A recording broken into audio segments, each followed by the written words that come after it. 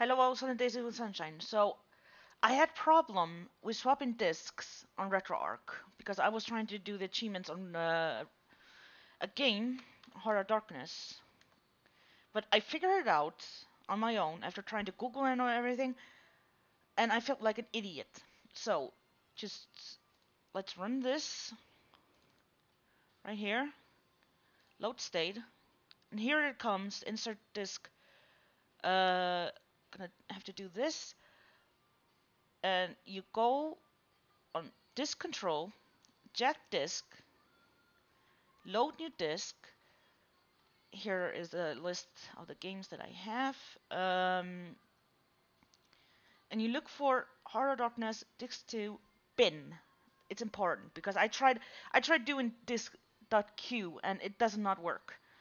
So you do that and you do insert disk and then I'll just press start. And here we go. Easy as pie.